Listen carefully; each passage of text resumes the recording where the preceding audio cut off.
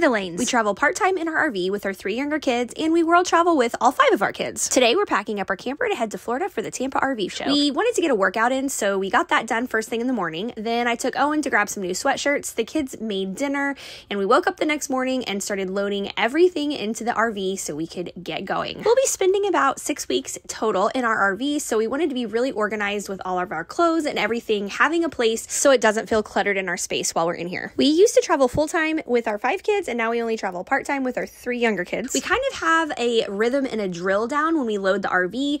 We get groceries, we take all the necessities. Here I am putting all our winter coats underneath our bed. I brought like four or five because I couldn't decide which one I was going to want. And since we have the space, why not bring them? We don't have doubles of most things, so it's a lot of back and forth between the house. Though, truth be told, we should probably invest in doubles and some things just to make our lives easier. I loaded Audrey's shoes, and she literally has Adidas in every color. We were finally loaded up and ready to go.